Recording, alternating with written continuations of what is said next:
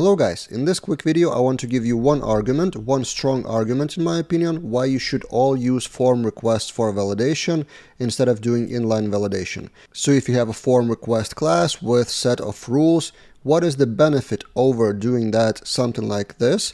request validate because I still see a lot of people doing that and that's okay that's perfectly valid and working code to have request validate directly in the controller and then do something with the validated data. And even if you look at the Laravel documentation, the first thing discussed is inline validation with request validate.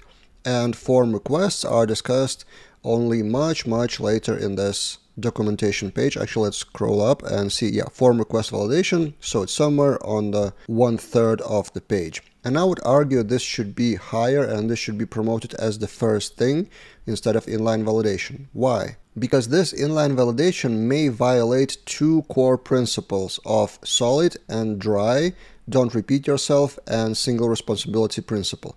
Let me show you. So for example, you have the validation for the web controller and this is all fine. But what if in the future you have the mobile application with the API, which also needs to store the controller? So you create a separate app HTTP controllers API product controller with also store method and then you do what? The same thing. So this is the controller from the API already. And then you repeat the same validation rules with the same request validate twice. So the principle don't repeat yourself should not be violated and would not be violated if you use store product request like this. Then you don't need that code at all. Of course, we need to change that to request validated.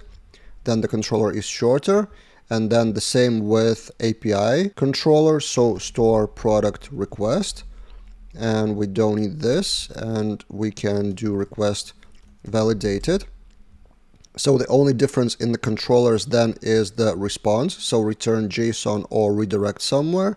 So we don't violate dry principle of don't repeat yourself. And also I mentioned solid principle. And the first thing of solid, S, stands for single responsibility principle. And I'm planning to shoot a separate video on solid principles quite soon.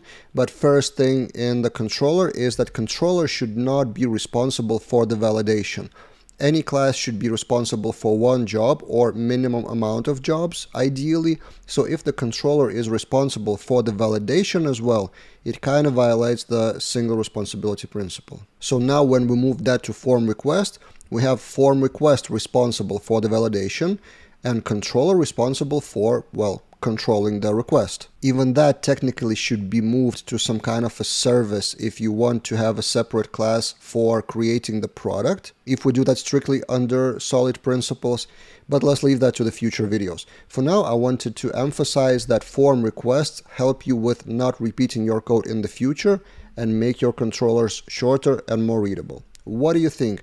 Do you still use inline validation like request validate or do you use form requests. And did you have any downsides with using form requests? Maybe I missed something? Shoot in the comments and let's discuss.